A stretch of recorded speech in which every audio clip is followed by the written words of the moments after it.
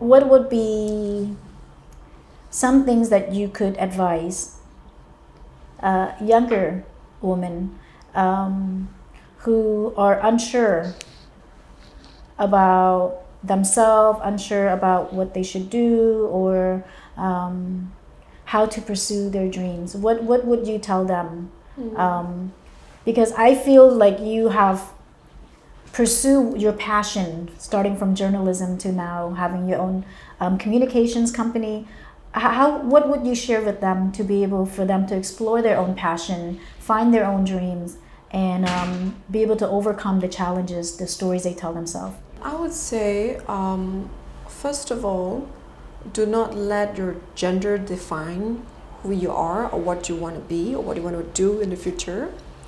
When i was doing journalism, you know, I was told, oh, it's dangerous to do this, it's dangerous to do that. You're a woman, now you're working in a male dominating field. You know, don't, don't let the naysayers stop you from uh, achieving your dream.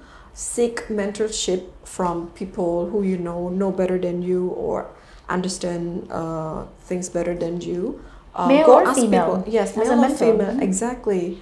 Um, that's that's how I uh, uh, benefited you know um, as a young person. Um, like I if I don't know anything I would go seek help or mentorship or advice from people around me be it my friends my teacher my professor or, or just neighbors you know um, and ask ask questions you know.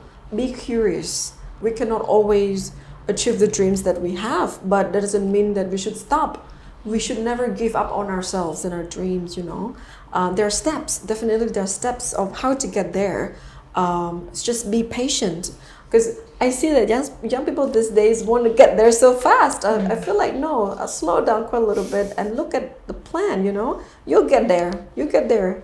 Uh, uh, so have a plan for yourself. Um, it doesn't have to be like a, you know, a ten year plan or anything plan your, your, your next week. What are you going to do? Your uh, next month, what are you going to do? You know, it doesn't have to be too far ahead. Um, so yeah, um, ask questions, be curious, look at examples around you. How, how, how did this person get to this stage? You know, how did that person uh, achieve that? You know, that's, that's how I, uh, I thought as a young person. And I looked at the examples around me and thank God there's, there are a lot of uh, good uh, women examples for me to follow, especially in my field, uh, journalism and communications. Yeah, so I would encourage young people to um, uh, seek mentorship, support from the communities, and the communities also need to step in and help, you know, young young men and young women grow as uh, future uh, generations of Cambodia.